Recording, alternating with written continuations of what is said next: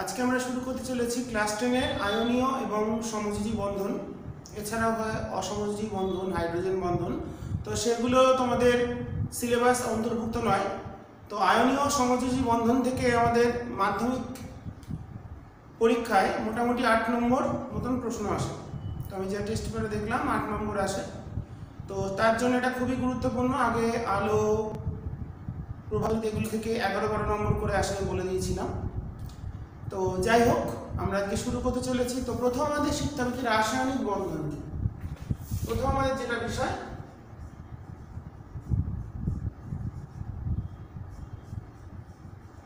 রাসায়নিক বন্ধন। Chemical bonding কি? দুই বা ততোধিক অণু বা পরমাণু, প্রধানত পরমাণুই তারা যে আকর্ষণ বলের প্রভাবে নিজেদের মধ্যে যুক্ত হয়ে সুসংবদ্ধ গঠনে রূপান্তরিত হয় এবং যার প্রভাবে পরমাণু নিম্ন শক্তি স্তরে অবস্থান করে। মনে রাখতে হবে, রাসায়নিক বন্ধন গঠন করার প্রধান উদ্দেশ্য হল নিম্ন শক্তি অবস্থা বা লোয়ার এনার্জি স্টেট লাভ করা মিনিমাম এনার্জি স্টেট এই কারণেই মৌলের পরমাণু রাসায়নিক বিক্রিয়ায় অংশগ্রহণ করে, ঠিক আছে? তাহলে রাসায়নিক বন্ধন হলো এমন একটি আকর্ষণ বল, আমরা বলতে পারি। যে আকর্ষণ বলের প্রভাবে দুই বা ততোধিক মৌলের অণু বা পরমাণু, অণুও বলা যায়, মৌল বা যৌগ, তারাও যুক্ত হতে পারে জটিল যৌগের ক্ষেত্রে। যুক্ত হয়ে কি করছে? মৌল হতে পারে, মূলক হতে পারে। মূলকের আবার গঠন হয়, অসমজে যে গঠন সেটা আমরা দেখব। তো প্রধান উদ্দেশ্য হলো লোয়ার এনার্জি স্টেট বা নিম্ন শক্তি অবস্থা লাভের জন্য মৌলের পরমাণু রাসায়নিক বিক্রিয়ায় অংশগ্রহণ করে এবং দুই বা ততোধিক মৌলের পরমাণু রাসায়নিক বিক্রিয়ার সাহায্যে পরস্পর যুক্ত হয়ে যে সুসংবদ্ধ গঠন লাভ করছে, যার মাধ্যমে যে বন্ধন বা যে আকর্ষণ বলের মাধ্যমে সেটাই হচ্ছে রাসায়নিক বন্ধন। তাহলে কি দাঁড়াল? দুই বা ততোধিক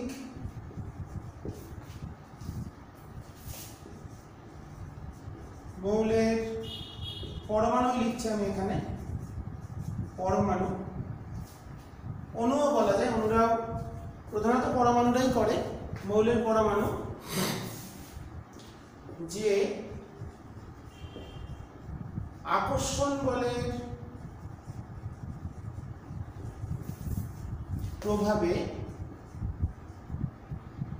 পরস্পর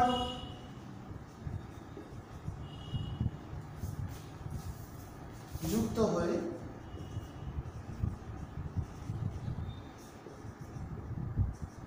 সুসংবদ্ধ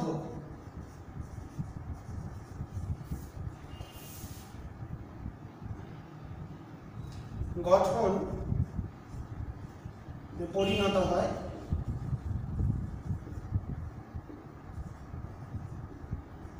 সেটি হলো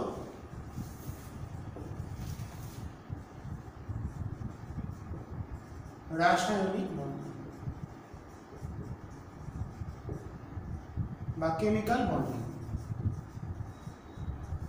ঠিক আছে? তাহলে দুই বা ততোধিক মৌলিক পরমাণু যে আকর্ষণ বলের প্রভাবে সুসংবদ্ধ গঠন বা অবস্থা লাভ করে বা সুসংবদ্ধ গঠনে পরিণত হয়, সেই আকর্ষণ বলের প্রভাবে যে গঠনে পরিণত হলো তাকেই বলা হচ্ছে রাসায়নিক বন্ধন। তাহলে উদ্দেশ্য কি? পরমাণুর নিম্ন শক্তি অবস্থা। লোয়ার এনার্জি স্টেট লাভ করার উদ্দেশ্যে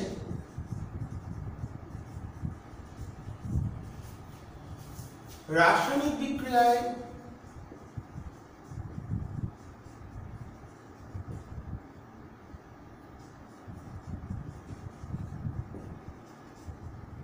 অংশগ্রহণ করে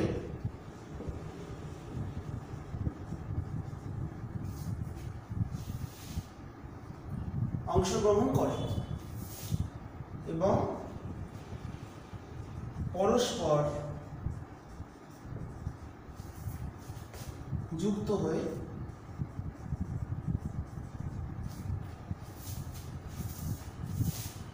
সুসংবদ্ধ অবস্থা লাভ করে আশা করি বোঝা গেছে তাহলে উদ্দেশ্যটা কি? নিম্ন শক্তি অবস্থা আমাদের পেতে হবে লোয়ার এনার্জি স্টেট সেই লোয়ার এনার্জি স্টেট লাভ করার উদ্দেশ্যেই পরমাণু রাসায়নিক বিক্রিয়ায় অংশগ্রহণ করে। তো এই যে রাসায়নিক বন্ধন, সেটা আমাদের দু রকম আমরা দেখতে পাচ্ছি। আয়নীয় বন্ধন, একটা সমযোজী বন্ধন। তো সমযোজী বন্ধন কি? সমযোজী বন্ধন হচ্ছে লোয়ার এনার্জি স্টেটে যাওয়ার উদ্দেশ্য উদ্দেশ্য তারা কি করে? কোনো মৌলের পরমাণু তার নিকটতম যে নিষ্ক্রিয় মৌল আছে, তার মতো সুস্থিত ইলেকট্রন বিন্যাস লাভের জন্য আমরা জানি নিষ্ক্রিয় মৌলগুলি রাসায়নিক বিক্রিয়ায় অংশগ্রহণ করে না। তার মতো সুস্থিত ইলেকট্রন বিন্যাস লাভের জন্য দুই বা ততোধিক মৌলের পরমাণু, প্রধানত অধাতব মৌলের পরমাণু। ইলেকট্রন বর্জনের মাধ্যমে এক বা একাধিক ইলেকট্রন জোড় গঠন করে। এক বা একাধিক ইলেকট্রন জোড় গঠন করে সেগুলিকে সমভাবে একইভাবে ব্যবহারের মাধ্যমে যে রাসায়নিক বন্ধন গঠন করে, সেটি হলো সমযোজী বন্ধন। নিকটতম নিষ্ক্রিয় মৌলের ন্যায় সুস্থিত ইলেকট্রন বিন্যাস লাভের জন্য দুই বা ততোধিক মৌলের পরমাণু ইলেকট্রন বর্জনের মাধ্যমে কি করে? ইলেকট্রন জোর গঠন করে। ফার্স্ট মানে মেথডের ফার্স্ট কাজ কি করতে হবে? ইলেকট্রন জোর গঠন করতে হবে। ইলেকট্রন জোরগুলোকে তারা সমভাবে ব্যবহার করবে। একইভাবে সেই ইলেকট্রন জোরগুলোর ওপর দুজনেরই দুই বা যতজন থাকবে প্রত্যেকের সমান অধিকার থাকবে। ঠিক আছে? দুজনের মধ্যে একটা বন্ডিং হয়, তিনজনের মধ্যে তো বন্ডিং হয় না এর সঙ্গে একজনের সঙ্গে দ্বিতীয় জন। দুজনের মধ্যে যে ইলেকট্রন জোড় হলো, সেই জোড়গুলো তারা সমানভাবে ব্যবহার করবে, করে যে বন্ধন গঠন করছে, সেটাই হচ্ছে সমযোজী বন্ধন। সমযোজী বন্ধন প্রধানত তিন প্রকারের। এক বন্ধন, যেটাকে সম্পৃক্ত বন্ধন বলা হয় আর দ্বিবন্ধন আর ত্রিবন্ধন, সেটা হচ্ছে অসম্পৃক্ত বন্ধন। তাহলে সমযোজী বন্ধনে আবার চলে আসি। আমরা আগে ডেফিনেশনগুলো শিখে নেব, পরীক্ষায় আসে। তাহলে নেক্সট আমাদের আলোচনা ডেফিনেশন সমযোজী বন্ধন। নিকটতম, নিষ্ক্রিয়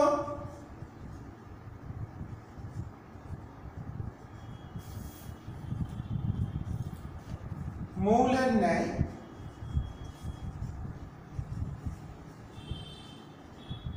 সুস্থিত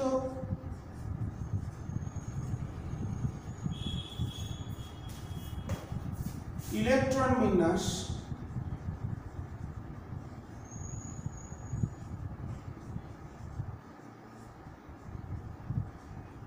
লাভের জন্য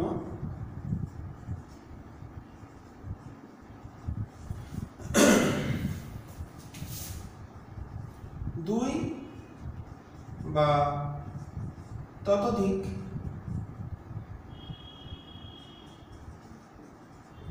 মৌলের পরমাণু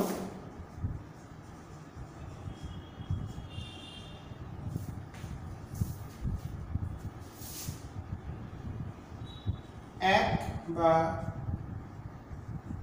একাধিক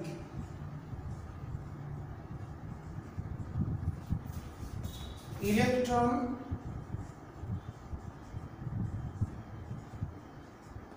বর্জনের মাধ্যমে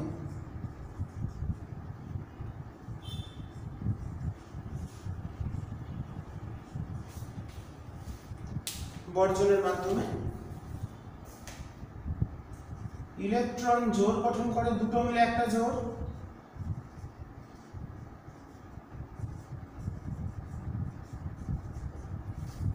ফার্স্ট ইলেকট্রন জোড় গঠন করে।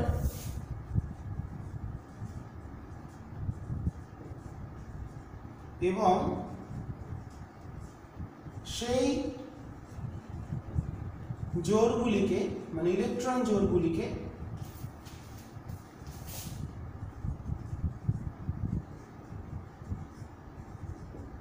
সমভাবে মানে যত যারা যারা জোর করবে, সেই জোরগুলোর ওপর প্রত্যেকের সমান অধিকার আছে এবং তারা সমানভাবে ইউজ করতে পারবে ব্যবহার করে।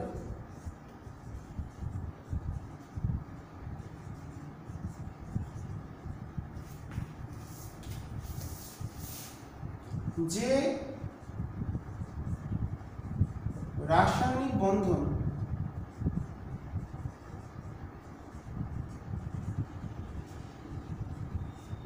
গঠন করে।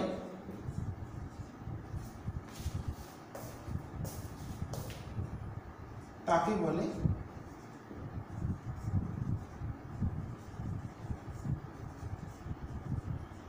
সমযোজী বন্ধন তাহলে স্টেপ ওয়ান কি? ইলেকট্রন জোড় গঠন করবে।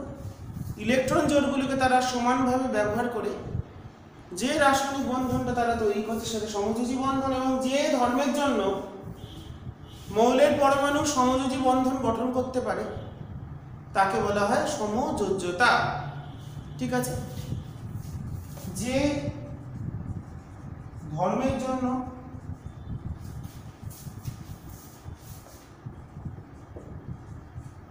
মৌলের পরমাণু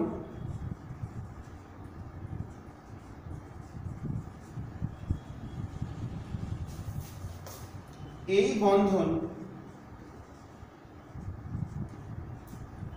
গঠন করতে পারে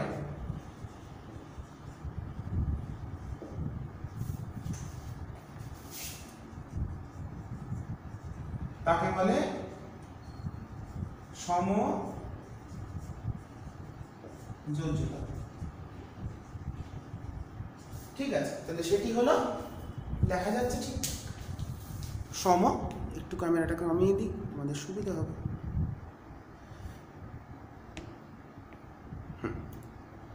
সেটি হলো সমযোজ্যতা। তাহলে সমযোজ্যতা হলো কি? নিকটতম নিষ্ক্রিয় মৌলের ন্যায় মনে রাখতে হবে। প্রধানত অধাতব যে মৌলগুলো তারা সমযোজী বন্ধনে পরস্পরের সাথে আবদ্ধ হয়। ঠিক আছে? তো সমযোজী বন্ধন নিকটতম নিষ্ক্রিয় মৌলের ন্যায় সুস্থিত ইলেকট্রন বিন্যাস লাভের জন্য দুই বা ততোধিক মৌলের পরমাণু এক বা একাধিক ইলেকট্রন বর্জনের মাধ্যমে ইলেকট্রন জোড় গ্রহণ করে, গঠন করে, সেটা আমরা কি করে করে সেটা দেখাবো অবশ্যই। এবং সেই জোড়গুলিকে সমভাবে ব্যবহার করে যে রাসায়নিক বন্ধন গঠন করে, সেটি হলো সমযোজ্যতা। তাহলে ফার্স্ট কাজ কি? প্রথমে তারা ইলেকট্রন জোড় গঠন করবে ইলেকট্রন বর্জন করে, সেই জোড়গুলোকে তারা সমভাবে ব্যবহার করে একটা জোর মানে একটা বন্ধন তারা যদি দুটো জোর করে, তাহলে দুটো বন্ধন, তিনটে জোর করলে তিনটে বন্ধন। তো সমযোজী বন্ধন আমাদের তিন প্রকারের হয়, আমি বলে দিয়েছি। এরপর চলে আসে আয়নীয় বন্ধন বা তড়িৎযোজী বন্ধন।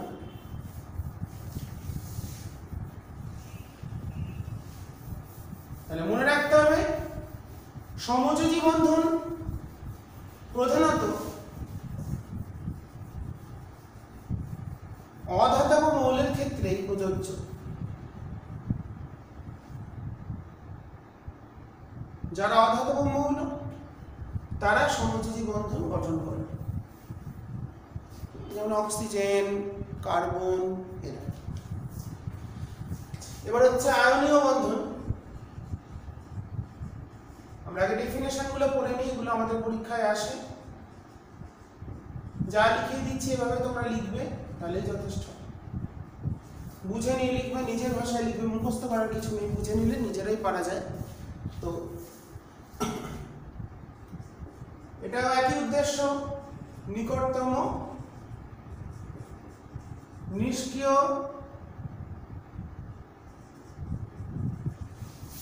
মৌলের ন্যায়।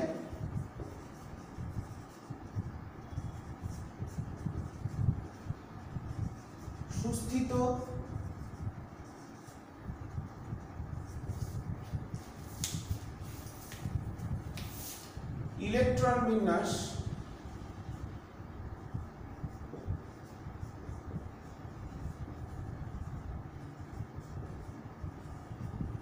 লাভের জন্য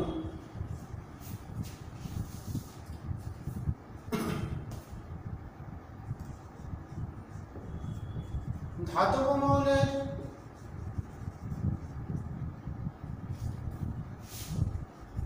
পরমাণুগুলি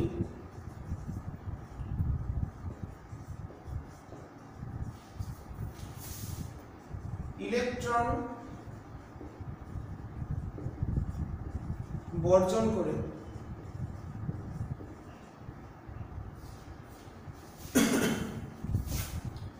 ক্যাটায়নে পরিণত হয়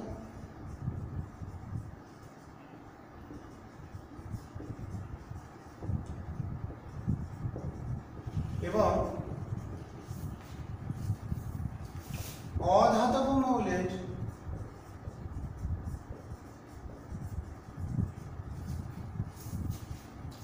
পরমাণুগুলি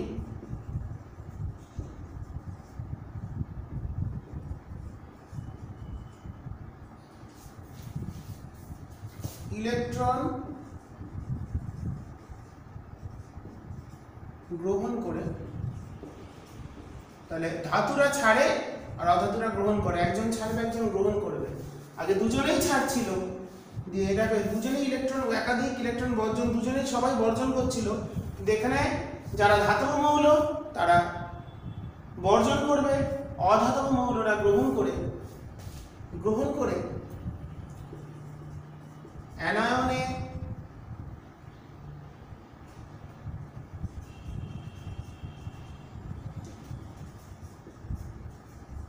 পরিণত হয়ে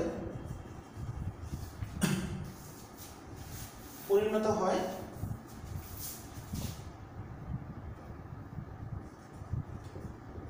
দাঁড়িয়ে। এই দুই প্রকার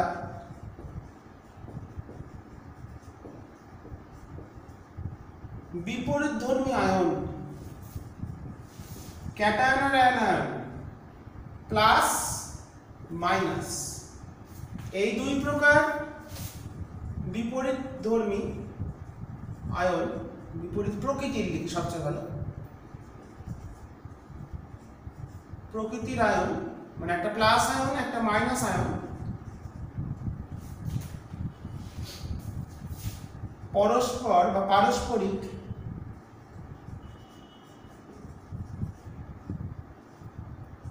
তীব্র স্থির তাড়িতিক দুটো জানি দুটো একটা প্লাস মাইনাস আধান পরস্পরকে একটা আকর্ষণ বল দ্বারা আকর্ষণ করে, সেটা হচ্ছে কুলম বল বা স্থির তরিত বল Q one Q two by R square তীব্র স্থির তাড়িতিক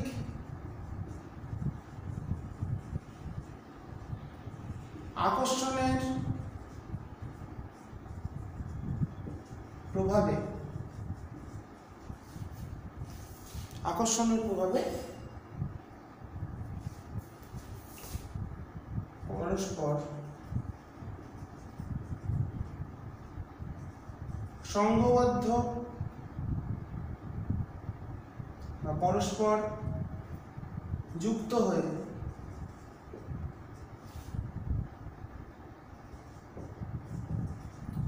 পরস্পর যুক্ত হয়ে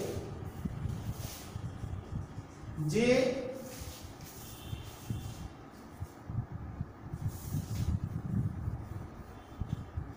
বন্ধন গঠন করে সেটি হলো করে সেই বন্ধনকে আয়নীয় বা তড়িৎযোজী বন্ধন বলে।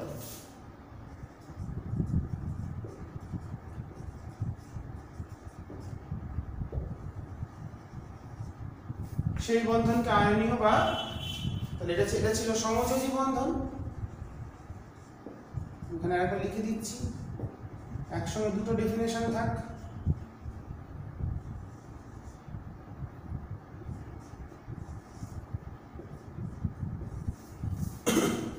দুটো ডেফিনেশন লিখে দিলাম এবং এই যে আয়নীয় বন্ধন গঠন করার যে প্রক্রিয়া বা যে ধর্মের জন্য করে সেটাকেই বলা হয় তড়িৎ যোজ্যতা বা আয়নীয় বন্ধন বা তড়িৎযোজী বন্ধন গঠন করার যে ক্ষমতা সেটাকেই বলা হচ্ছে তড়িৎ যোজ্যতা তাহলে দুটো বন্ধন আমরা দেখে নিলাম কোনটা কি ধরনের বন্ধন।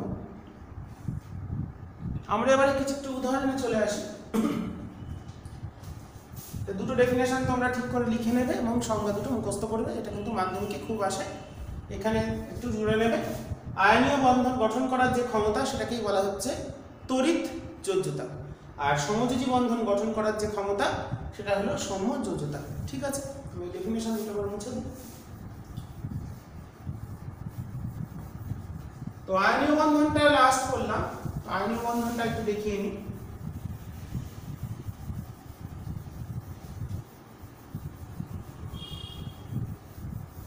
তাহলে মনে রাখতে হবে আয়নীয় বন্ধন কারা করে? ধাতু আর অধাতু করে। আর সমযোজী বন্ধন কারা করে দুটো অধাতু মিলে, দুই বা ততোধিক অধাতু মিলে সমযোজী বন্ধন গঠন করে। ডেফিনেশন দুটো অবশ্যই ভালো করে মুখস্থ করবে। যেভাবে লিখিয়ে দিলাম, এইভাবেই তোমাদের বইতেও আছে অবশ্যই। এটা আমি আমার মতন করে লিখিয়ে দিলাম। তো নিজের ভাষায় লিখবে, বুঝে নিয়ে লিখবে, তাহলেই হবে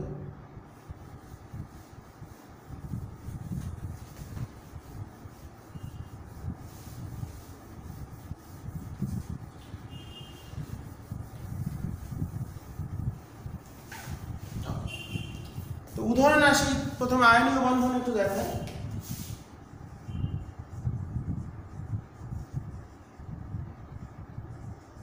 যেমন ধরো, তোমরা আশা করি জানো, বললাম ক্যালসিয়াম ক্লোরাইড।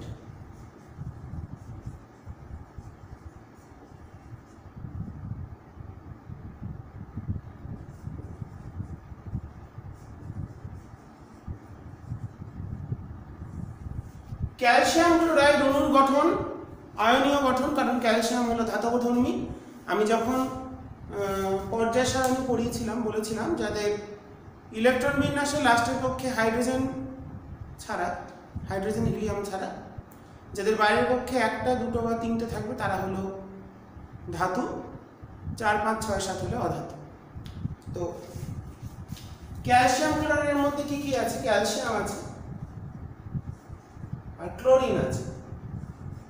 ক্যালসিয়ামের পরমাণু ক্রমাঙ্ক কুড়ি, ক্লোরিনের হলো সতেরো। তো প্রথম কাজ, ক্যালসিয়ামের ইলেকট্রন বিন্যাস যদি করি, তাহলে ক্যালসিয়ামের এইভাবে লিখে করতে হবে, গঠন দিলে, ইলেকট্রন বিন্যাস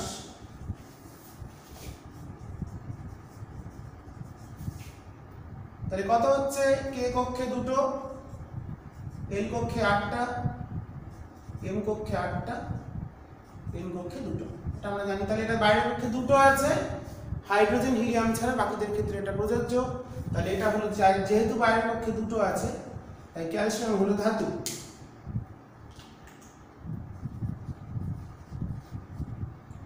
ওকে। ক্লোরিনের ক্ষেত্রে সতেরো, তাহলে ক্লোরিনের ইলেকট্রন বিন্যাস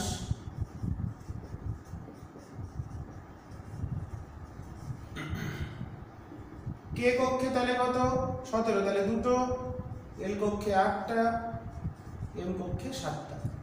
তাহলে বাইরে সাতটা আছে, তার মানে এটা হচ্ছে অধাতু।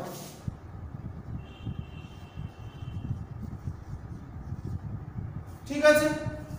এই হলো বিষয়। এবার কি করতে হবে? দেখো, বাইরের পক্ষে যেটা আছে তাহলে এখানে যদি বাইরের পক্ষে নিকটতম নিষ্ক্রিয় মৌল হচ্ছে ক্যালসিয়ামের চারগন তার হচ্ছে দুই আট আট তাহলে সে কি করবে? দুটো ইলেকট্রন ছাড়বে। কারণ বাইরের পক্ষে যটা থাকবে তটা ছাড়বে ধাতু। আর এর ক্ষেত্রে আটটা করতে গেলে যটা লাগে, ততগুলো গ্রহণ করবে।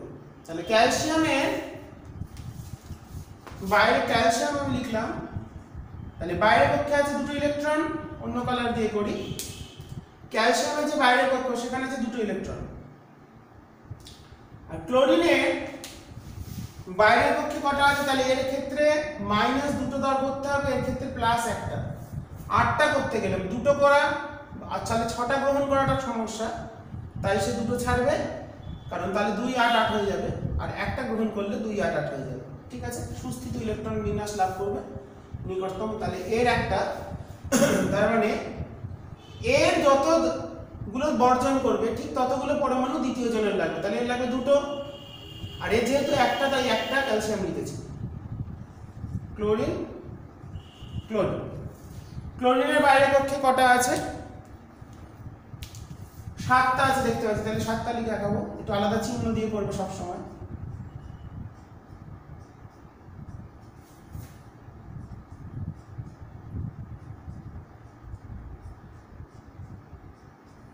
হলো?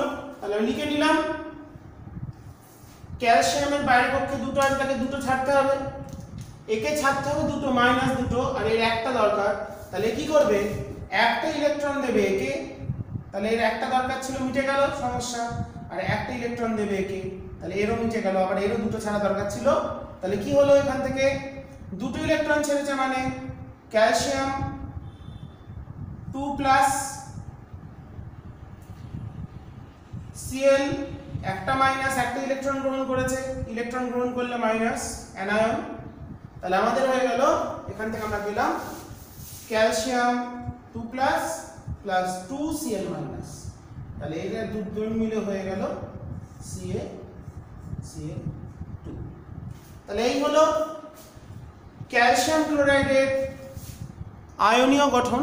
এইভাবে আমরা দেখাবো বা তড়িৎযোজী গঠন কীভাবে দেখানো যায় সেটা আমি তোমাদের চিত্রের সাহায্যে বুঝিয়ে দিলাম। এরপরেও আমরা অনেক উদাহরণে আসব। এরপর আমরা সমযোজী বন্ধনের উদাহরণে চলে যাব। তো সমযোজী বন্ধনের ক্ষেত্রে কেমন হয় আমাদের এবার দেখতে হবে। মুছে দিই। তাহলে ভালো করে প্র্যাকটিস করব। আমি একটা উদাহরণ দেখালাম আপাতত। সব আমি দেখিয়ে দেবো। তোমরা ভালো করে করবে। যে কটা করিয়ে দেবো, সে কটা ভালো করে করলেই বোর্ড এক্সামের জন্য সাফিসিয়েন্ট আর তোমরা তোমাদের টেক্সট বইটা কিন্তু ভালো করে ফলো করবে, যেগুলো আছে প্রত্যেকটা ভালো করে করবে সমযোজী বন্ধন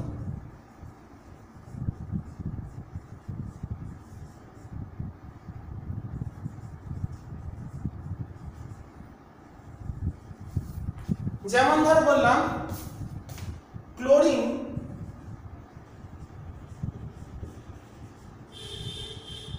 অণুর গঠন।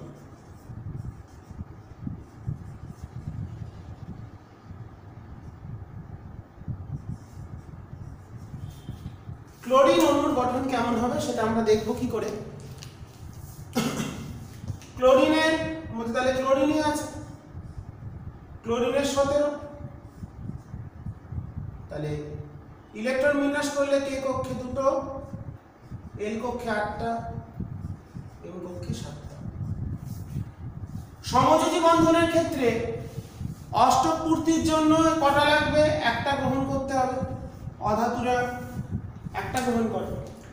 অষ্টক পূর্তি করতে গেলে যতগুলো দরকার, ক্লোরিন পরমাণু ঠিক ততগুলোই ছাড়বে। প্রত্যেকের অধাতুর ক্ষেত্রে, সমযোজীর ক্ষেত্রে তার নিকটতম নিষ্ক্রিয় মৌলের ন্যায় সুস্থিত ইলেকট্রন বিন্যাস মানে বাইরের পক্ষে আটটা ইলেকট্রন করতে গেলে অষ্টক পূর্তি ঘটাতে গেলে যতগুলো ইলেকট্রন দরকার হবে, ওই মৌলের পরমাণু ঠিক সমসংখ্যক ইলেকট্রন বর্জন করবে। যেমন অক্সিজেনের বাইরের পক্ষে থাকে ছটা, তার দুটো দরকার, তার মানে সে দুটো ছাড়বে। কার্বনের ক্ষেত্রে কার্বনের ক্ষেত্রে বাইরের পক্ষে চারটা থাকে, সেই চারটা ছাড়বে। চারটা দরকার। ক্লোরিনের ক্ষেত্রে সাতটা আছে, একটা দরকার, তার মানে সে একটা ছাড়বে। তাহলে সেটা ক্লোরিন পরমাণু, মৌলিক গ্যাস হচ্ছে দ্বি পরমাণু হয় তাহলে এই বন্ধন করতে গেলে, একটার সঙ্গে জোর করতে গেলে কতগুলো লাগবে? নিশ্চয়ই একটাই লাগবে। জোর মানে কি? দুটো ইলেকট্রন মিলে একটা জোর এই ক্লোরিন নয় একটা দিল। তাহলে ওদিকে আর কটা ক্লোরিন লাগবে জোর করতে গেলে? একটা লাগবে। যদি অক্সিজেন বলি অক্সিজেন বলি, দুটো অক্সিজেন, একটা অক্সিজেন এই দুটো দিল, ও দুটো দিল। তাহলে এক জোড়া হলো, দুটো ইলেকট্রন জোর গঠন হলো। আচ্ছা তাহলে এখানে কেমন হবে? ক্লোরিন দুটো কেন লিখছি? এ একটা ছাড়বে, এ একটা, মিলে তো একটা জোর গঠন করতে হবে। তাহলে ইলেকট্রন বর্জন করবে কটা? তাহলে একটি বর্জন। লাগবে একটা, তাই একটা বর্জন করবে। তাহলে এর তো আগে সাতটা ছিল। আমি একটু এঁকে নিই, তোমরা তারপরে বুঝে নিয়ে করবে। এরও সাতটা ছিল। তাহলে আমাদের এখানে ইলেকট্রনটা যে বর্জন করবে, সেটাকে আইডেন্টিফাই করার জন্য এটাকে আমি সার্কেলের সাহায্যে প্রথমে আগে এদের একটা করে সার্কেল দেখিয়ে নিতে হবে। এটা হলো এই ক্লোরিনের সার্কেল এটা হলো এই ক্লোরিনের সার্কেল করে নিলাম সার্কেলটা তার কোয়েনসাইড যে জায়গাটা করল, এই জায়গাটাই হচ্ছে তারা যেখানে জোটটা গঠন করবে। তাহলে এ কটা দেবে একটা, তাহলে এ একটা ইলেকট্রন এখানে দিয়ে দিয়েছে। এই ক্লোরিন একটা দেবে, একটা দিয়ে দিয়েছে। দিয়ে দেখো, আমি ফার্স্ট বলেছিলাম, বর্জনের মাধ্যমে ইলেকট্রন জোর গঠন, আমার গঠন করে এবং সেই ইলেকট্রন জোরকে সমভাবে সমভাবে ব্যবহার করবে সমানভাবে ব্যবহার করবে মানে এই যে জোর, এই যে দুটো ইলেকট্রন সেটা এরো আবার এই জোরটা আবার এরো তার মানে এখানে দেখো হচ্ছে এক, দুই, তিন, চার, পাঁচ, ছয়, সাত, আট। তাহলে এর অষ্টপূর্তি হলো আটটা হয়ে গেছে, আবার এখানে ছয় আর দুই, আট, এরও অষ্টপূর্তি হয়ে গেছে। এবার এই যে একটা জোর হলো, এই একটা জোর হলো, এই যে জোর, এটাকে আমরা কি করে আঁকবো? ক্লোরিন, তার কটা আছে? দুই তিন, চার, পাঁচ, ছয়। একটা জোর মানে একটা বন্ধনী। এটাকে সমযোজী বন্ধনের চিহ্ন, একটা দাগ দিতে হবে। ক্লোরিন। এখানে বন্ধনটা প্রকৃত, তাই এখানে দাগ দেবো তাহলে এটা হচ্ছে সংকেত তাই গেল সিএল তাহলে ক্লোরিন গ্যাসের অণুর গঠন কেমন হয়, সেটা আমরা খুব সহজেই বুঝে এরপর আমরা শিখে নেব সমযোজী ও আয়নীয় বন্ধন বা যৌগ কি করে আইডেন্টিফাই করব।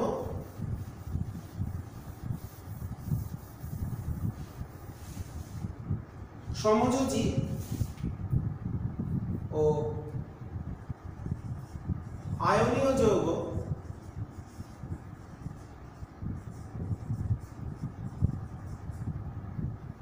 শনাক্তকরণ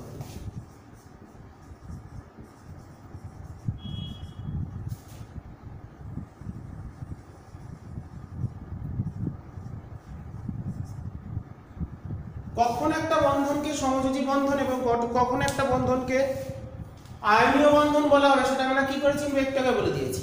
আমি আবার বলছি, সাধারণত সমস্ত হাইড্রোজেন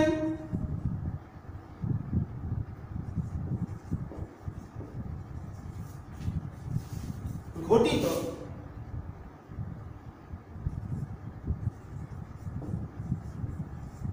যৌগই সমযোজী ব্যতিক্রম কি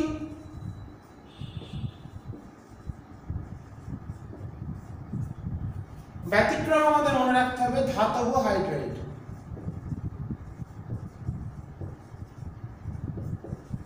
হাইড্রোজেন থাকলেই সমযোজী হয় ব্যতিক্রম হচ্ছে ধাতব হাইড্রাইড যেমন sodium hydride calcium hydride lithium hydride প্রভৃতি হাইড্রোজেন থাকলে সমযোজী হয় ব্যতিক্রম এগুলো যখন অধাতু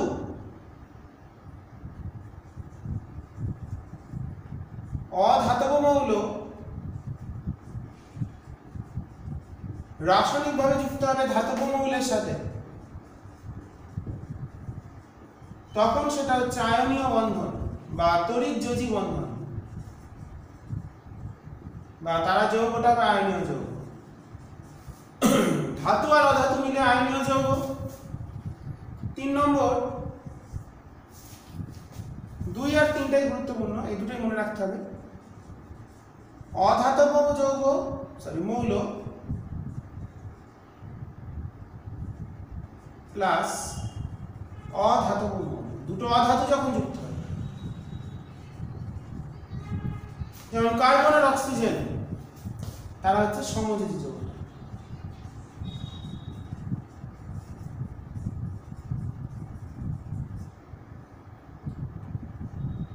ঠিক আছে এই দুটো পয়েন্ট ভালো করে খেয়াল রাখতে হবে। যখন অধাতু অধাতু যুক্ত হচ্ছে, তখন সমযোজী। আর ধাতু আর ধাতু যুক্ত হচ্ছে, তখন সেটা আয়নীয় যৌগ। তো লাস্টের দুটো পয়েন্ট যেন ভালো করে সবার খেয়াল থাকে। এরপর পড়ে নেব আমরা যেটা, সেটা একটু আমাদের আউট অফ সিলেবাস তাও দেখে রাখি, সেটা হচ্ছে অসমযোজী বন্ধন। অসমযোজী বন্ধন। অসমযোজী বন্ধন হলো সমযোজী বন্ধনের একটা বিশেষ ক্ষেত্র, যেখানে একটি মৌলের পরমাণু ইলেকট্রন জোড় একাই দান করবে এবং সেই ইলেকট্রন জোড়টাকে যার সঙ্গে দান করল তারা সমভাবে ব্যবহার করে প্রত্যেকের অষ্টপূর্তি ঘটাবে। সেটাই হচ্ছে অসমযোজী বন্ধন। যেমন ধরো, সালফিউরিক অ্যাসিডের বা হাইড্রোজেন সালফাইডের ক্ষেত্রে হাইড্রোজেন সালফেটের ক্ষেত্রে সালফিউরিক অ্যাসিড। আবার সালফার থাকে দুদিকে দুটো ওএইচ গ্রুপ থাকে।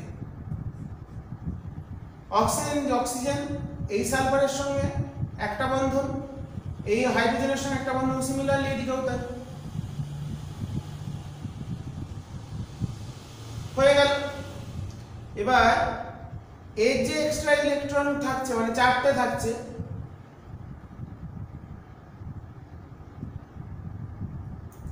সেইগুলো কি করছে? এর অক্সিজেনের দুটো লাগবে, এই জোটটাকে একে দান করে দিচ্ছে। সিমিলারলি এই জোটটা আর একটা অক্সিজেনকে দান করে দিচ্ছে। দিয়ে তারা সালফিউরিক অ্যাসিড, তাহলে এই যে জোটটা সালফার, একেও দান করল। বাইরের পক্ষে সালফারের ছটা থাকে, এখানে একটা দিয়েছে, এখানে একটা দিয়েছে, এখানে পেয়ার করেছে। কিন্তু অসমযোজী এইগুলো হচ্ছে অসমযোজী বন্ধন যেখানে সমযোজী বন্ধনের মতনই অনেকটা, যেখানে ইলেকট্রন জোটটা একটা মৌলের পরমাণুই দান করবে, কারণ অক্সিজেনের কটা দরকার? দুটো দরকার। সালফার তাকে দুটো দিয়ে দিল, এই দুটো এই দুটো ইলেকট্রন জোরকে তারা সমানভাবে ব্যবহার করল, তাহলে তার ফলে এরও অষ্টপূর্তি হলো, এরও অষ্টপূর্তি হলো। তো এই যে বন্ধনটা গঠন হলো, কে কাকে দিল? তার দিকে তীর কাকে দিয়েছে? অক্সিজেনকে দিয়ে যায় অক্সিজেনের দিকে তীর এটাই হচ্ছে অসমযোজী বন্ধন। তাহলে এটাও কিন্তু অসমযোজী বন্ধনটা সমযোজী বন্ধনের মতনই একটা বিশেষ ক্ষেত্র, যেখানে আগে কি হচ্ছিল, দুটো মৌলের পরমাণুই ইলেকট্রন বর্জন করছিল, দিয়ে ইলেকট্রন জোড় গঠন করে সেটাকে সমানভাবে ব্যবহার করছিল। কিন্তু এখানে একজন একটি মৌলের পরমাণুই এই অক্সিজেনের সঙ্গে কিন্তু একই রকম করেছে। এ একটা দিয়েছে, এ একটা দিয়েছে। এই অক্সিজেন এদিকে একটা ইলেকট্রন দিয়েছে এই সালফার এদিকে একটা দিয়েছে যে ইলেকট্রন সমযোজী বন্ধন হলো। কিন্তু এই অক্সিজেনকে এই সালফারের যে এক্সট্রা দুটো পড়ে আছে excess two lone pair electron সেই লোন পেয়ার এদিকে একটা দিয়ে দিল, একে একটা দিয়ে দিল। দিয়ে সেটা তৈরি হলো অসমযোজী বন্ধন। অ্যামোনিয়ামের ক্ষেত্রেও একই রকম ঘটে। অ্যামোনিয়ামের ক্ষেত্রে অ্যামোনিয়ামের ক্ষেত্রে নাইট্রোজেনের দুটো ইলেকট্রন একসাথে থাকে। সে এইচ প্লাস আয়নকে এই দুটো ইলেকট্রন দান করে। দিয়ে উৎপন্ন হয় এনএইচ ফোর প্লাস ঠিক আছে? এটা মূলক, তাই আমি ব্র্যাকেটে লিখলাম। এর ক্ষেত্রেও কিন্তু এটা অসমযোজী বন্ধন, এটা তোমাদের সিলেবাসে খুব একটা নেই, তাও তোমাদের আমি একটু বলে দিলাম বিষয়টা। এরপর আমরা পড়ে নেব আয়নীয় যৌগ সংক্রান্ত কতগুলো পয়েন্ট যেগুলো আমাদের খুবই গুরুত্বপূর্ণ। তোমরা ভালো করে বুঝে নেবে বিষয়গুলো, আমি ছবির সাহায্যে বিষয়গুলো বুঝিয়ে দেবো।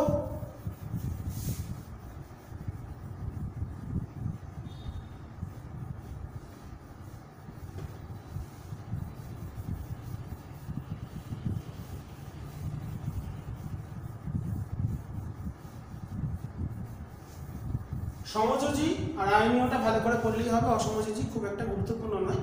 তাও ওটা দেখিয়ে দিলাম। তোমাদের যদি কাজে লাগে তার জন্য। তো এরপর আমরা পড়ব যেটা আয়নীয় যৌগের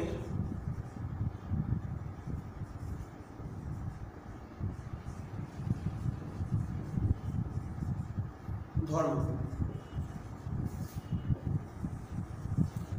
প্রথম চলে আসি ভৌত অবস্থা।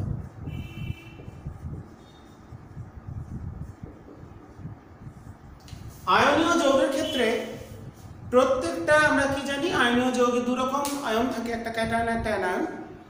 প্রত্যেকটা বিপরীত ধর্মী আয়নকে ঘিরে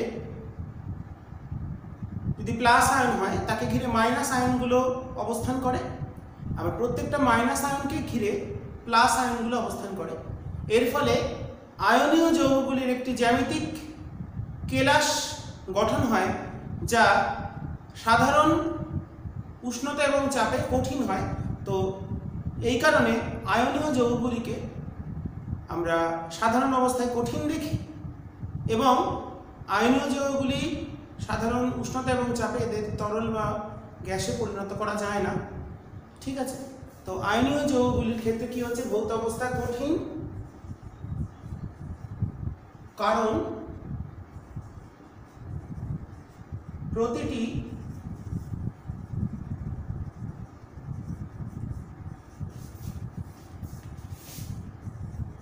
আয়নকে ঘিরে বিপরীত ধর্মী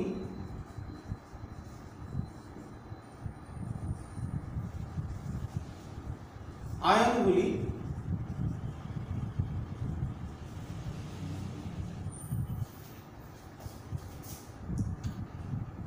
অবস্থান করায়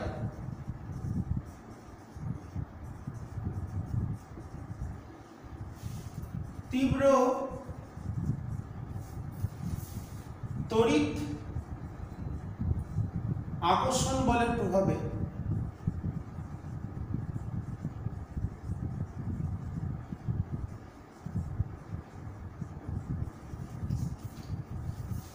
তড়িৎ আকর্ষণ বলের প্রভাবে এরা কঠিন জ্যামিতিক আকার নির্দিষ্ট জ্যামিতিক আকৃতি বিশিষ্ট আকার বা নিয়ত আকার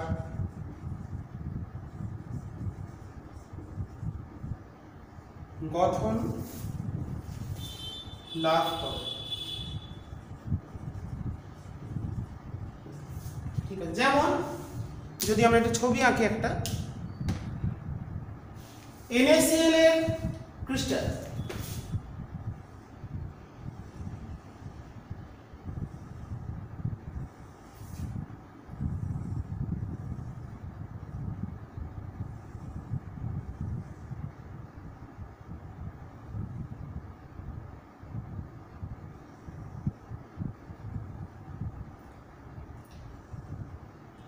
NaCl এর ক্রিস্টাল এরকম ঘনকাকৃতি দেখতে হয়।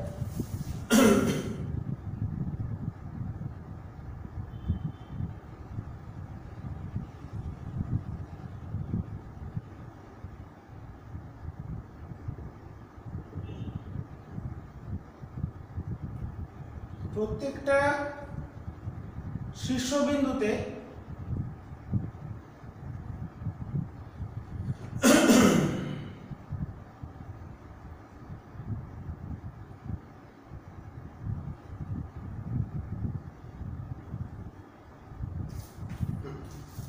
ঠিক এরকম দেখতে হয় ত্রিমাত্রিক। তো এইগুলোতে একটা করে ক্লোরিন অবস্থান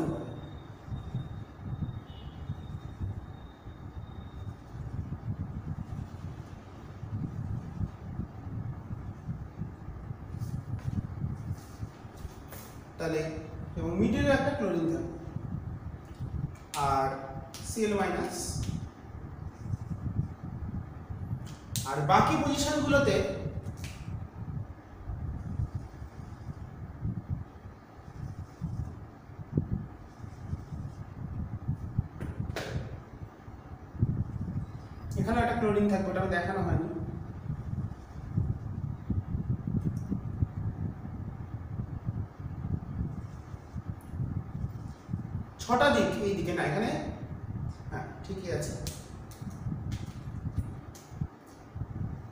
একটা, দুটো, তাহলে এখানে একটা ক্লোরিন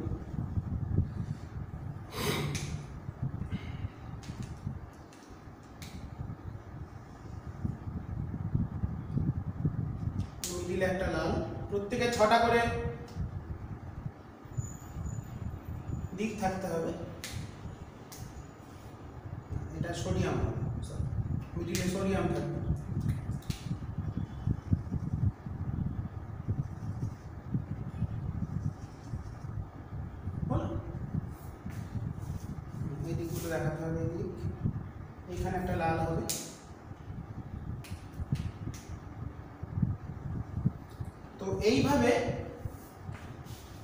দেখে নিই দূর থেকে। ঠিকই আছে। এগুলো সোডিয়াম। তাহলে দেখো আমি একটু যাচাই করে নিই। প্রত্যেকটা মাঝখানে একটা সোডিয়াম কটা দিক? একটা। হুম, এইখানে একটা লাল হবে মিডিল একটা লাল হবে মিডিলটা দেওয়া হয়নি। প্রত্যেকটা সোডিয়ামকে ঘিরে মানে এই যদি একটা সোডিয়াম আয়ন হয় মিডিলেরটা দেখাচ্ছি। তাহলে দেখো, একে ঘিরে এইদিকে একটা লাল আছে, ক্লোরিন আছে, এদিকে একটা ক্লোরিন আছে, এই সাইডে একটা ক্লোরিন আছে, বিপরীত দেওয়ালে একটা ক্লোরিন আছে, ওপরে একটা ক্লোরিন আছে, নিচে একটা ক্লোরিন আছে। তাহলে কটা হলো? ছটা। প্রত্যেকটা সোডিয়ামকে ঘিরে যেমন ছটা ক্লোরিন আয়ন বর্তমান এগুলো অনেক বড় বড় হবে কন্ট্যাক্টে থাকবে। ওকে, আমি ছোট করে দেখালাম। আবার প্রত্যেকটা ক্লোরিনকে ঘিরে এই যদি একটা ক্লোরিন বলি, তাহলে একটা, দুটো, তিনটে, এখানে একটা চারটে, এদিকে একটা পাঁচটা উপরে একটা ছটা। এরকম করে কিন্তু চলছে। এটা একটা কেলাস দেখালাম এবং পাশাপাশি জুড়ে একটা বড় আকারের কেলাস গঠন হবে। তো এখানে সোডিয়াম, প্রত্যেকটা সোডিয়ামকে ঘিরে ক্লোরিন আয়ন আছে ছটা। আর প্রত্যেকটা ক্লোরিনকে ঘিরে সোডিয়াম আয়ন আছে ছটা। তাহলে সিক্স ইস টু সিক্স তাহলে এর সরলতম অনুপাত হচ্ছে ওয়ান ইস টু ওয়ান এই কারণে প্রত্যেকটা প্লাস আয়নকে ঘিরে ছটা মাইনাস আয়ন আর প্রত্যেকটা মাইনাস আয়নকে ঘিরে ছটা প্লাস আয়ন বর্তমান। তো আমরা লেখার সময় তাই NaCl আকারে লিখলেও এটা প্রকৃতপক্ষে NaCl, এটা ছিল সোডিয়াম এটা chlorine chlorine chlorine chlorine chlorine chlorine তাহলে প্রত্যেকটা সোডিয়ামকে ঘিরে ছটা ক্লোরিন, আবার প্রত্যেকটা ক্লোরিনকে ঘিরে ছটা সোডিয়াম অবস্থান করে। এই কারণে এদের ক্ষেত্রে আমরা যে ব্যবহার করি ক্লোরিনের ক্ষেত্রে আণবিক ওজন না বলে সেটাকে বলব সংকেত ওজন বা ফর্মুলা ওজন, সংকেত ওজন। এটা হচ্ছে তেইশ প্লাস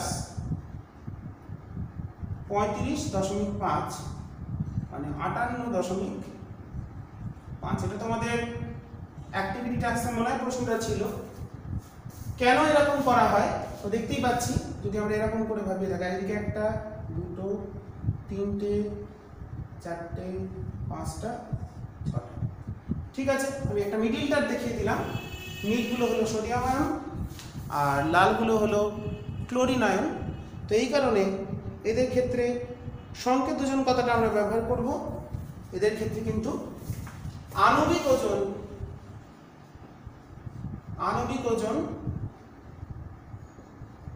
প্রযোজ্য নয়, এটা মনে রাখতে হবে। কারণ এখানে একটা আয়ন, একটা প্লাস একটা মাইনাস এইভাবে কখনোই অবস্থান করবে না। তারা কীভাবে? প্রতিটি আয়নকে ঘিরে একটা বিপরীত ধর্মী আয়ন বর্তমান, যার ফলে তারা কঠিন জ্যামিতিক আকার গঠন করছে, তো তারা কিন্তু জোটবদ্ধ অবস্থায় থাকে। তারা আয়নগুলি জোটবদ্ধ অবস্থায় থাকে। একটা একটা আয়নের কিন্তু কোনো অস্তিত্ব নেই বাস্তবে। এই কারণে এদের ক্ষেত্রে আণবিক ওজনের পরিবর্তে আমরা সংকেত ওজন কথাটা ব্যবহার করি। এটা খুব ইম্পর্টেন্ট প্রশ্ন দু নম্বরের জন্য। তো এটা তোমাদের বইতেও দেখবেন, একটা ছবি দেওয়া আছে, এটা ভালো করে করে নেওয়ার চেষ্টা করব। আমি একটু সরল, সরলীকৃত করে ছবিটা এঁকে দিলাম। প্রত্যেকটা এখানে সোডিয়ামকে মিডিলের রেসপেক্টে ছটা, কিন্তু এই সাইডেও আছে কিন্তু। এটাকে ভাবলে একটা, দুটো, তিনটে, আবার এদিকে একটা চারটে, ওপরে একটা পাঁচটা নিচে একটা ছটা। এইভাবে আমরা দেখতে পাই। জিনিসটাকে যদি এদিকে বাড়িয়ে দিই, আমরা যদি এদিকে এটাকে বাড়িয়ে দিই, তাহলে জিনিসটা কেমন আসছে? একটু দেখিয়ে দিই। এদিকে একটা পাচ্ছি, এদিকে একটা পাবো, এদিকে একটা পাবো। তাহলে দেখো, বুঝতে পেরে যাবে। সিমিলারলি এদিকেও কিন্তু জিনিসটা একই রকম চলছে। তাহলে এদিকে একটা ক্লোরিনের রেসপেক্ট দেখলে, এদিকে একটা সোডিয়াম আছে, এদিকে একটা সোডিয়াম এদিকে তাহলে ছটাগুলো কিনা দেখে নাও। এক, দুই, তিন, চার, পাঁচ, ছয়। প্রত্যেকটা ক্লোরিনকে ঘিরে ছটা সোডিয়াম আর প্রত্যেকটা সোডিয়ামকে ঘিরে ছটা ক্লোরিন আয়ন অবস্থান করছে, যার ফলে তারা জোটবদ্ধ অবস্থায় কঠিন জ্যামিতিক নিয়তাকার গঠন বা কেলাসাকার গঠন লাভ করে। এই কারণে এরা সাধারণ উষ্ণতায় কঠিন হয়, যাদের সাধারণ উষ্ণতা এবং চাপে তরল বা গ্যাসে আমরা পরিণত করতে পারি না। এবার যেহেতু এদের মধ্যে তীব্র তড়িৎ আকর্ষণ বল দ্বারা তারা পরস্পর যুক্ত থাকে, এটা প্রকৃত বন্ধনের কোনো ব্যাপার নয়। এখানে কোনো বন্ধন আমরা ইউজ করছি না, যেটা সমযোজী বন্ধনে। এর ক্ষেত্রে প্রকৃত বন্ধন দেখা যায় না, বন্ধনের অভিমুখও থাকে না। ঠিক আছে? দুজন দুজনকে সমান বল দ্বারা আকর্ষণ করছে। সোডিয়াম ক্লোরিনকে যত বল দ্বারা আকর্ষণ করছে, ক্লোরিনও সোডিয়ামকে সমান বল দ্বারা আকর্ষণ করছে। এই কারণে এদের কোনো বন্ধনের অভিমুখ নেই এবং এদের ক্ষেত্রে ফর্মুলা সরি সংকেত ওজন যেটা আমরা ব্যবহার করব, সেটাই আমরা বলব, আণবিক ওজন বলব না। আর এদের এই যে তীব্র তড়িৎ আকর্ষণ বলে যুক্ত থাকার কারণে এদের গলনাঙ্ক, স্ফুটনাঙ্ক উচ্চ মানের হয়। তাহলে এদের যারা আয়নীয় যৌগ বা তড়িৎযোজী যৌগ, এদের ক্ষেত্রে কি হয়? দু নম্বর, গলনাঙ্ক ও স্ফুটনাঙ্ক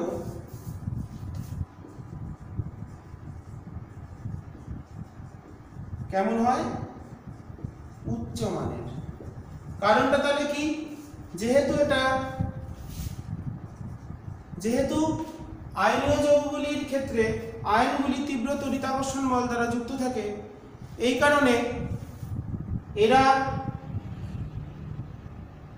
সেই আয়নগুলোকে বিচ্ছিন্ন করতে গেলে বেশি পরিমাণ শক্তির প্রয়োজন, তাই এদের গলনাঙ্ক, স্ফুটনাঙ্ক বেশি হয় এবং উচ্চমানের হয়। তিন নম্বর, পরিবহন ক্ষমতা যদি বলি,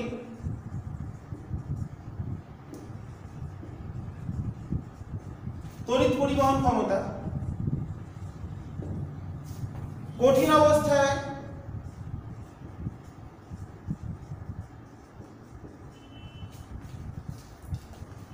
আয়নীয় যৌগগুলি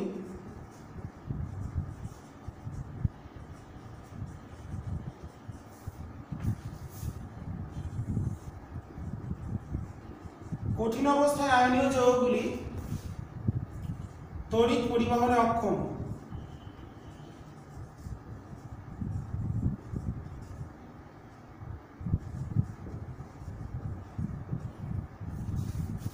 গলিত বা দ্রাবকে দ্রবীভূত অবস্থায়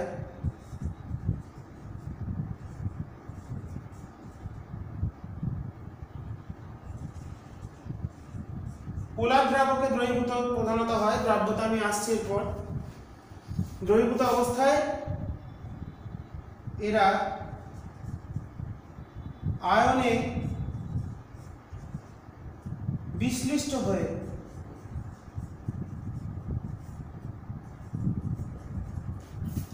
তড়িৎ পরিবহন করে।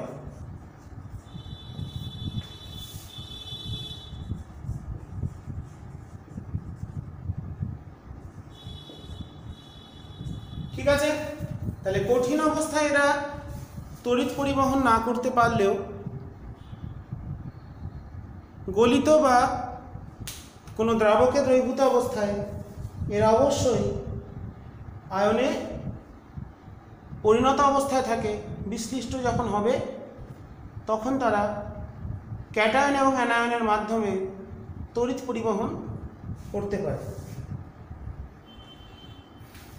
এরপর চলে আসে নেক্সট পয়েন্ট দ্রাব্যতা।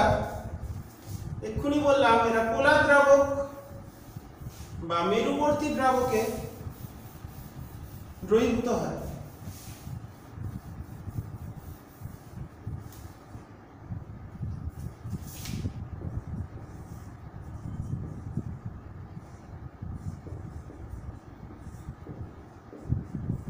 এরা পোলার দ্রাবকে যেমন জল পোলার দ্রাবকে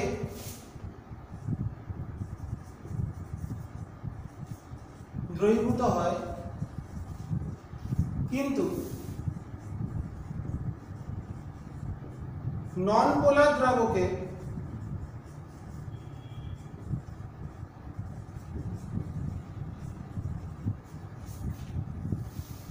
যেমন ইথানল মানে জৈব দ্রাবক বলতে পারি নন পোলার দ্রাবক না লিখে জৈব দ্রাবক লিখি, সবচেয়ে ভালো। তোমাদের বুঝতে সুবিধা হবে নন পোলার কথাটা তোমরা রিলেটেড নাও। জৈব দ্রাবকে, যেমন একটা উদাহরণ দিলাম, ইথানলে। দ্রবীভূত হয় না।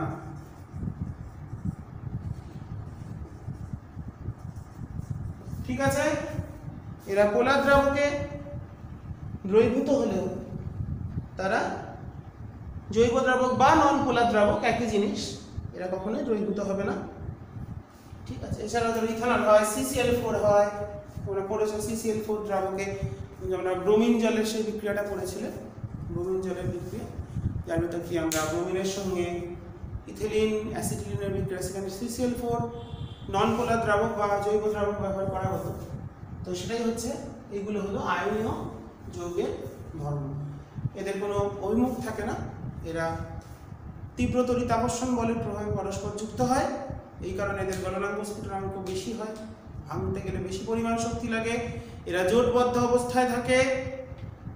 ঠিক আছে? জোটবদ্ধ অবস্থায় থাকার কারণে এদের গঠনটা কেলাসাকার বা নির্দিষ্ট জ্যামিতিক আকার বা নিয়তাকার আকৃতির হয়।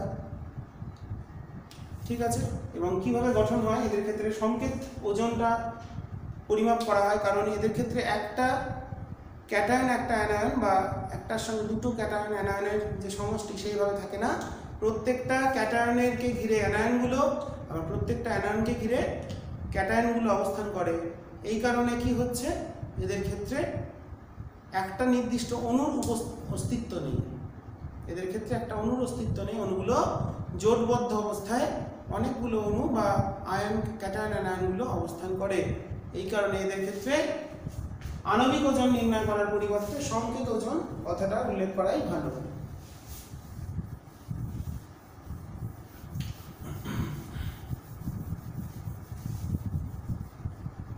এরপর আমরা চলে যাব সমযোজী যৌগের ধর্ম। এটা পড়ি আজকে আমি, আজকের আলোচনা শেষ করব। পরের দিন আবার কিছু উদাহরণ এবং কিছু গুরুত্বপূর্ণ প্রশ্ন যেগুলো তোমাদের মাধ্যমিক দু হাজার একুশের জন্য গুরুত্বপূর্ণ আগের প্রত্যেকটা চ্যাপ্টারে যেমন করে দিচ্ছি, সেটা আমি করে দেবো। আজকে ফান্ডামেন্টাল জায়গাটা একটু ক্লিয়ার করে দিলাম। তোমরা বই থেকে উদাহরণগুলো দেখবে প্র্যাকটিস করবে। তো এবার আলোচনার বিষয়।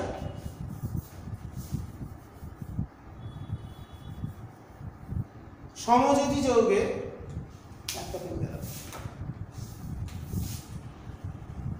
সমযোজী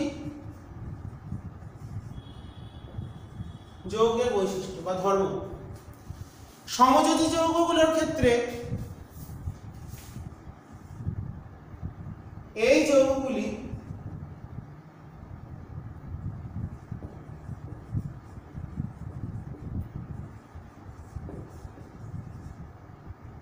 যদি আমরা ভৌত অবস্থা বলি, বেশিরভাগ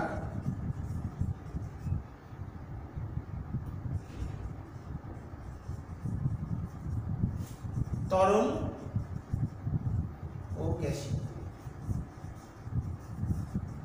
ন্যাপথলিন, চিনি, গ্লুকোজ, কিছু কিছু আছে তারা কঠিন, কিন্তু বেশিরভাগই হচ্ছে যেমন যেগুলো জৈব গ্যাস, যেমন মিথেন, তরল যেমন ইথানল, অ্যাসিটিক অ্যাসিড, বিভিন্ন যে জৈব পদার্থগুলো আছে, সেগুলো সবই, যেমন কার্বন ডাইঅক্সাইড জলীয় বাষ্প বা জল জল হলে তরল জলীয় বাষ্প হলে আমার গ্যাসীয়।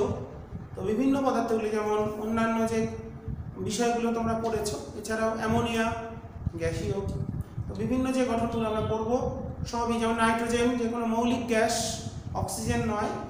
অক্সিজেনের ক্ষেত্রে একটু গঠনটা আলাদা, ওটা পরাচুম্বকত্ব থাকার জন্য। ওদের ক্ষেত্রে সমযোজী, লুইস ডটের সাহায্যে ব্যাখ্যা করা যায় না, ওটা আমি দেখাবো সামনের দিন ভিডিওতে।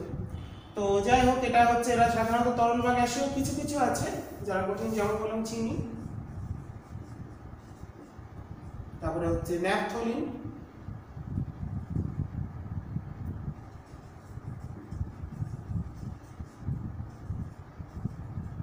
গ্লুকোজ।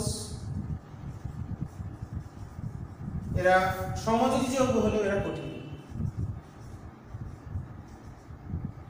ঠিক আছে কয়েকটা লিখে দিই। যেমন ধরো, ইথানল, অ্যাসিটিক অ্যাসিড,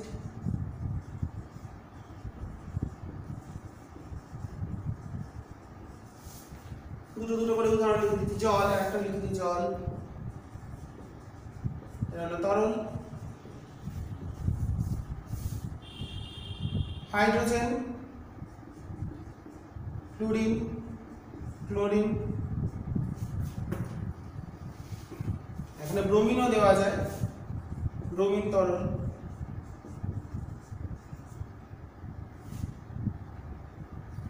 ঠিক আছে। অ্যামোনিয়া কার্বন ডাইঅক্সাইড কয়েকটা দিলাম, এটা হলো গ্যাসীয় তো তরল বা গ্যাসীয় সংখ্যায় বেশি, অসংখ্য আছে, আমি কয়েকটা উদাহরণ হিসেবে দিলাম। অক্সিজেনটা লিখলাম না, হাইড্রোজেন, ক্লোরিন, ফ্লোরিন, নাইট্রোজেন। এগুলো হচ্ছে গ্যাসীয় সমযোজী পদার্থ। এদের গলনাঙ্ক স্ফুটনাঙ্ক নিম্নমানের কার তুলনায়? গলনাঙ্ক স্ফুটনাঙ্ক নিম্নমানের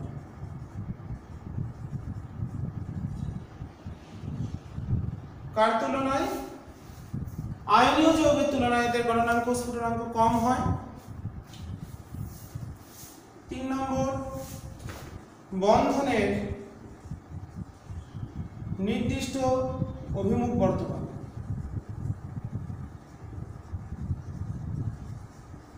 কারণ যারা অধাতু যুক্ত হচ্ছে যারা, তাদের মধ্যে কেউ বেশি ইলেকট্রোনেগেটিভ ইলেকট্রোনেগেটিভ যে বেশি সে ইলেকট্রন জলকে নিজের দিকে আকর্ষণ করে রাখে তড়িৎ ঋণাত্মকতা ধর্মের জন্য, যে ধর্ম তোমরা পড়েছ। তার জন্য বন্ধনের একটা দিক থাকবে, কার দিকে সরে থাকবে সেটা আমরা বুঝতে পারব। আচ্ছা। এরা প্রধানত কিছু কিছু আছে, জলে দ্রবীভূত হয়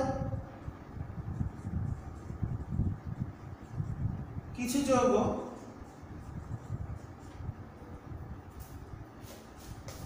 বা মৌল।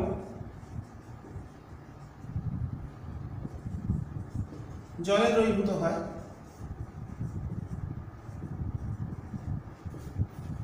এছাড়া এটা অজৈব দ্রাবকে বেশিরভাগ দ্রাবক সরি সরি জৈব দ্রাবকে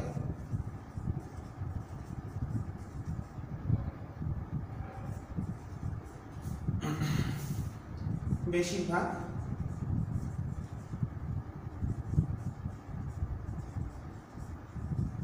যেমন জলের মধ্যে দ্রবীভূত হয়, অ্যামোনিয়া গ্যাস খুব দ্রাব্য, আমরা জানি। চিনি দ্রবীভূত হয়, গ্লুকোজ দ্রবীভূত হয়। ঠিক আছে? তো বেশিরভাগই এরা জৈব দ্রাবকে দ্রবীভূত হয়। তাছাড়া কিছু কিছু পদার্থ আছে যারা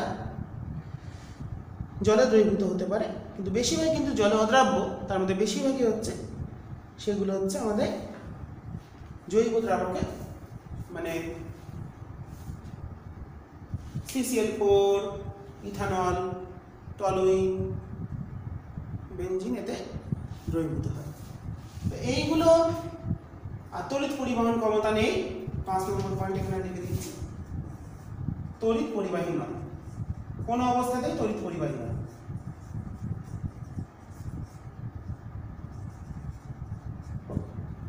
এদের যেহেতু আয়নের বিশ্লিষ্ট হওয়ার ক্ষমতা নেই, বা খুবই একটা ক্ষেত্রে অ্যাসিডিক অ্যাসিডের ক্ষেত্রে থাকে, খুব সামান্য মৃদু তড়িৎ বিশ্লেষ্য। তো সেক্ষেত্রে দেখা যেতে পারে কিন্তু বেশিরভাগ ক্ষেত্রে এরা তড়িৎ পরিবাহী নয়। তো এই হচ্ছে আমাদের সমযোজী বন্ধনের ধর্ম। তাহলে এই যৌগগুলো বেশিরভাগই তরল বা গ্যাসীয় প্রকৃতির হয়। এদের ক্ষেত্রে আমরা কি দেখলাম? এদের একটা গলনাঙ্ক স্ফুটনাঙ্ক নিম্নমানের হয়, তুলনামূলক অনেক কম, দ্রব- দ্রৈ- দ্রাব্যতা কিসে? কিছু যৌগ বা মৌল আছে যারা জলে দ্রবীভূত হয়, কিন্তু বেশিরভাগই জলে দ্রবীভূত হয় না। আর বেশিরভাগ দ্রবীভূত হয় কিসে? জৈব দ্রাবকে মানে ethanol, benzene toluene CCL four মানে কার্বন টেট্রাক্লোরাইড, এইগুলোতে দ্রবীভূত হয়। আর বন্ধনের একটি নির্দিষ্ট অভিমুখ অবশ্যই থাকবে। একটা নির্দিষ্ট বন্ধনের দিক থাকে, কারণ আমরা তড়িৎ ঋণাত্মকতা কনসেপ্টটা আমাদের সবাইকারই আছে। তো এই হলো আর এরা, কোনোভাবেই তড়িৎ পরিবাহী বা তড়িৎ অবিশ্লেষ্য বলা যেতে পারে। তড়িতের প্রভাবে এদের বিয়োজন করা যায় না। ঠিক আছে? তো এই হচ্ছে আমাদের এদের ধর্ম। তো তোমরা এই বিষয়গুলো একটু ভালো করে দেখে নাও, যতটা বললাম। পরবর্তী দিন সমযোজী এবং আয়নীয় যোগ যৌগের গঠন আমরা দেখি, বেশ কিছু উদাহরণ আলোচনা করব মেনলি যেগুলো তোমাদের টেস্ট পেপারে বিভিন্ন কোশ্চেন ব্যাংকে গুরুত্বপূর্ণ প্রশ্ন, সেগুলো আমি আলোচনা করিয়ে দেবো। এবং তোমাদের যেটা খুব দরকার প্রশ্ন প্রশ্ন আমি দিয়ে দেবো সামনের দিন। কারণ এই চ্যাপ্টার থেকে আমাদের আট নম্বর আসে, দু নম্বরের প্রশ্নগুলো জোর দিয়ে করতে হবে। তো এইটা করে নেব করে নিয়ে আমরা নেক্সট দিন এটা কমপ্লিট করে একটা ভিডিওতেই হয়ে যাবে। সেটা করে নিয়ে আমরা চলে যাব পরের আমাদের যেটা তড়িৎ বিশ্লেষণ মানে তড়িৎ প্রবাহের রাসায়নিক ক্রিয়া, রাসায়নিক ফলাফল যেটাকে বলা হয় তড়িৎ প্রবাহের ফলে রাসায়নিক যে বিক্রিয়া ঘটে, তড়িৎ বিশ্লেষণ, সেটা করব। আমরা এই দুটো থেকে আমাদের গুরুত্বপূর্ণ বেশ তো মানে ছ নম্বর আসে মোটামুটি। তো এই দুটো থেকে আমাদের চোদ্দ নম্বর আসে, এটা কমপ্লিট করে নেব তারপরে অন্য কি চ্যাপ্টার সেটা তোমরাই বলবে, আমি শুধু দেখিয়ে দেবো। তো যাই হোক, তোমরা ভালো করে দেখতে থাকো। দুটো ভিডিও প্রত্যেকের জন্য খুবই গুরুত্বপূর্ণ। একটা ভিডিও আজকে করে দিলাম। যতটা পারলাম, ভালো করে বুঝে নাও এবং ভালো করে লিখে বিষয়গুলো পড়ে নেওয়ার চেষ্টা করো। এই বলে আজকে শেষ করছি। আবার নেক্সট দিন তোমাদের সাথে দেখা হবে। আমি ক্যামেরার এই প্রান্তে আছি, তোমরা ও প্রান্ত থেকে দেখবে। এছাড়া তো এখন উপায় নেই, দূর থেকে দেখতে হবে সোশ্যাল ডিস্টেন্সিং মেনটেন করে। তো যাই হোক, কিছুদিন তোমাদের জন্য কিছু করতে পারিনি, একটু শারীরিক সমস্যা ছিল। তো সেটাকে কাটিয়ে উঠে আমি আবার শুরু করেছি কাজ, অল্প অল্প করে। তো আবার এগিয়ে যাই, তোমরাও এগিয়ে চলো, ভালো করে পড়াশোনা করো, মাধ্যমিক এগিয়ে আসছে, এটা মাথায় রেখে মন দিয়ে পড়ো, ভালো করে বুঝে নেওয়ার চেষ্টা করো, বিষয়গুলো আবার ঝালিয়ে নেওয়ার চেষ্টা করো, এই বলে আজকে শেষ করছি, ঠিক আছে? আবার সামনের দিন নতুন ভিডিও নিয়ে, নতুন বিষয় নিয়ে, প্রশ্ন নিয়ে আমি চলে আসব, তোমরা মন দিয়ে ভালো করে পড়াশোনা